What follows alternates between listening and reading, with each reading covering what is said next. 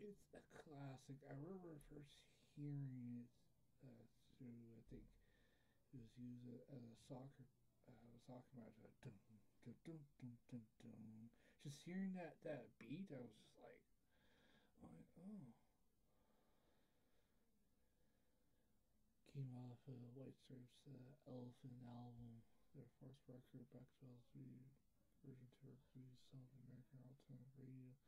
The album was issued through XL Records, re-produced by Jack West Hawks is a distorted vocal, simple drum beat and a bass like with creep playing blank touch or pitch shifts effect.